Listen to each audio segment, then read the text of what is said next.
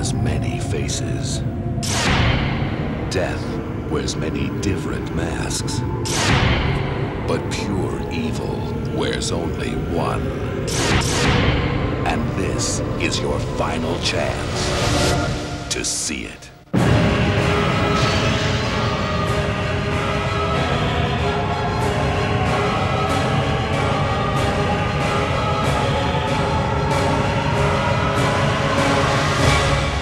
Jason goes to hell.